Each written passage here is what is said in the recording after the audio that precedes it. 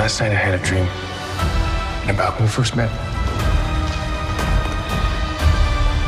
We were criminals, friends, and then we became guardians.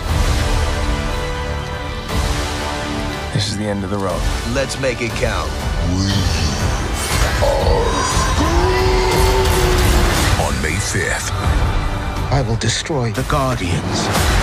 It's time to say goodbye. Summer begins It's a face-off. with their final tour. I guess we'll die trying.